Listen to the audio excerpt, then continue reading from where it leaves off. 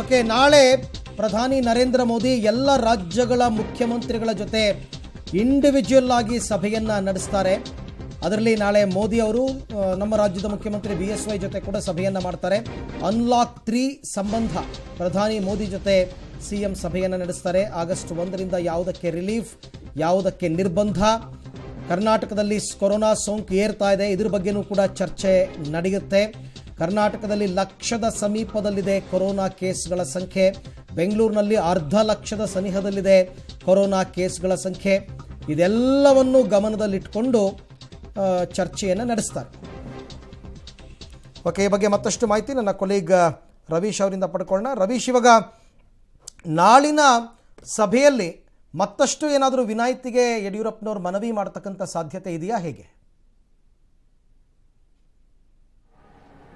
ಅರವಿಂದ್, ಒಂದನ್ನು ಸ್ಪಷ್ಟಪಡಿಸ್ತೀನಿ. ಇದುವರೆಗೂ ಕೂಡ ಪ್ರಧಾನಮಂತ್ರಿಯವರ ಕಚೇರಿಯಿಂದ ಕರ್ನಾಟಕದ ರಾಜ್ಯದ ಸಿಎಂ ಜೊತೆ ವಿಡಿಯೋ ಕಾನ್ಫರೆನ್ಸ್ ನಡೆಸ್ತೀವಿ ಅಂತ ಯಾವುದೇ ರೀತಿಯ ಸ್ಪಷ್ಟವಾದ ಮಾಹಿತಿ ಬಂದಿಲ್ಲ ಅಂತಲೂ ಕೂಡ ಹೇಳಲಾಗ್ತಾ ಇದೆ.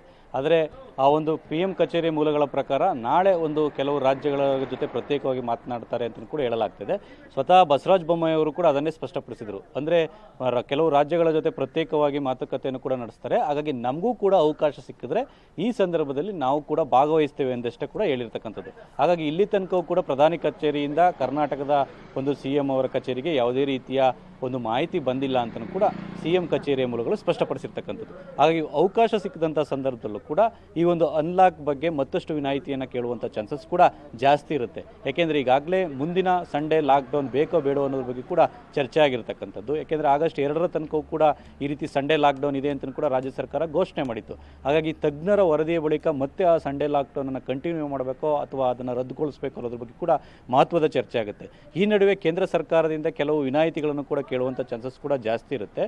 ಯಾಕೆಂದರೆ ಆ ಒಂದು ಸ್ವಿಮ್ಮಿಂಗ್ ಪೂಲ್ಗಳಾಗಿರ್ಬೋದು ಮತ್ತು ಜಿಮ್ಗಳಾಗಿರ್ಬೋದು ಅದ್ರ ಜೊತೆಗೆ ಮೆಟ್ರೋ ರೈಲು ಸಂಚಾರ ಆಗಿರ್ಬೋದು ಮತ್ತು ಸಿನಿಮಾ ಥಿಯೇಟ್ರ್ಗಳಾಗಿರ್ಬೋದು ಈ ವಿಚಾರದಲ್ಲೂ ಕೂಡ ಇನ್ನೂ ಕೂಡ ಪರ್ಮಿಷನ್ ಸಿಕ್ಕಿಲ್ಲ. ಯಾಕೆಂದರೆ ಮೊನ್ನೆ ಅಷ್ಟೇ ಆ ಒಂದು ಮಾಹಿತಿ ಮತ್ತು ತಂತ್ರಜ್ಞಾನ ಪ್ರಸಾರ ಇಲಾಖೆ ಗೃಹ ಇಲಾಖೆಗೆ ಪತ್ರ ಬರೆದಿರ್ತಕ್ಕಂಥದ್ದು ಕೇಂದ್ರ ಗೃಹ ಇಲಾಖೆಗೆ.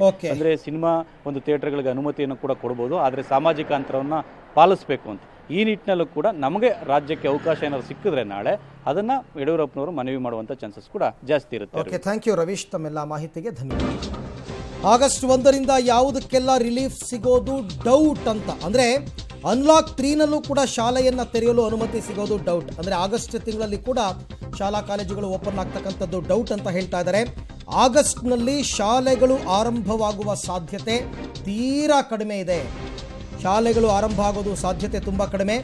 ಇನ್ನು ಮೆಟ್ರೋ ರೈಲು ಮತ್ತು ರೈಲುಗಳ ಓಡಾಟದ ಮೇಲಿನ ನಿರ್ಬಂಧ ಮುಂದುವರಿಬಹುದು. ಅಂದರೆ ಬೆಂಗಳೂರಿನಲ್ಲಿ ಮೆಟ್ರೋ ರೈಲಿನ ನಿರ್ಬಂಧ ಮತ್ತು ಬೇರೆ ಬೇರೆ ಕಡೆ ಓಡಾಡುವಂತಹ ರೈಲುಗಳ ಮೇಲಿನ ನಿರ್ಬಂಧ ಮುಂದುವರಿಕೆ, ವಿಮಾನಗಳ ಹಾರಾಟಕ್ಕೂ ನಿರ್ಬಂಧ ಮುಂದುವರಿಕೆ ಸಾಧ್ಯತೆ ಇದೆ.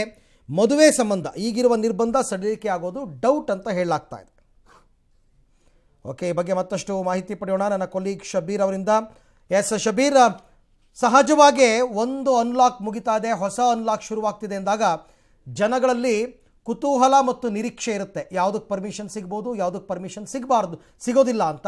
ಸೊ ಕೇಂದ್ರ ಸರ್ಕಾರದ ಸದ್ಯದ ಲೆಕ್ಕಾಚಾರ ಏನು? ಖಂಡಿತ ಅರವಿಂದ್ ಆಗಸ್ಟ್ ಒಂದನೇ ತಾರೀಕಿಂದ ಮೂರನೇ ಹಂತದ ಅನ್ಲಾಕ್ ನಿಯಮಗಳು ಜಾರಿ ಬರಬೇಕಾಗಿದೆ. ಜುಲೈ ಮೂವತ್ತೊಂದರಷ್ಟೊತ್ತಿಗೆ ಎರಡನೇ ಹಂತದ ಅನ್ಲಾಕ್ ನಿಯಮಗಳು ಮುಕ್ತಾಯ ಆಗುತ್ತೆ. ಈ ಹಂತದಲ್ಲಿ ಯಾವುದಕ್ಕೆಲ್ಲ ಮತ್ತಷ್ಟು ವಿನಾಯಿತಿ ಸಿಗ್ಬೋದು ಅನ್ನೋದು ಸದ್ಯಕ್ಕೆ ಇರುವಂತಹ ನಿರೀಕ್ಷೆಗಳು. ಆದ್ರೆ ಈಗಾಗಲೇ ಬಹುತೇಕ ವಿನಾಯಿತಿಗಳನ್ನ ಕೊಡಲಾಗಿದೆ. ಕೆಲವೊಂದಿಷ್ಟಕ್ಕೆ ಮಾತ್ರ ನಿರ್ಬಂಧವನ್ನ ಹೇರಲಾಗಿರುವಂತದ್ದು ಈ ನಿರ್ಬಂಧದ ಪೈಕಿ ಮತ್ತಾವುದಕ್ಕೆ ನಿಯಮಗಳನ್ನ ಸಡಿಲಿಕೆ ಮಾಡ್ತಾರೆ ಅನ್ನೋದು ಸದ್ಯಕ್ಕೆ ಇರುವಂತಹ ಕುತೂಹಲ.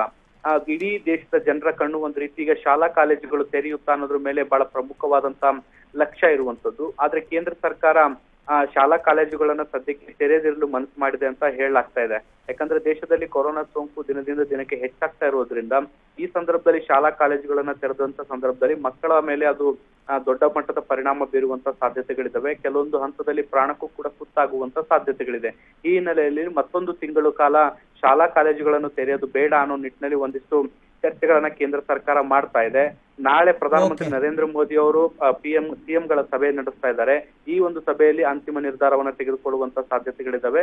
ಇದರ ಜೊತೆಗೆ ಸಿನಿಮಾ ಥಿಯೇಟರ್ ಜಿಮ್ ಮತ್ತೆ ಇತರೆ ಪ್ರಮುಖ ವಿವಾದಗಳನ್ನ ತೆಗೆದ್ರ ಬಗ್ಗೆ ಕೂಡ ಒಂದು ಅಂತಿಮ ನಿರ್ಧಾರ ತೆಗೆದುಕೊಳ್ತಾರೆ. ಶಬೀರ್ ತಮ್ಮೆಲ್ಲ ಮಾಹಿತಿಗೆ ಧನ್ಯವಾದ.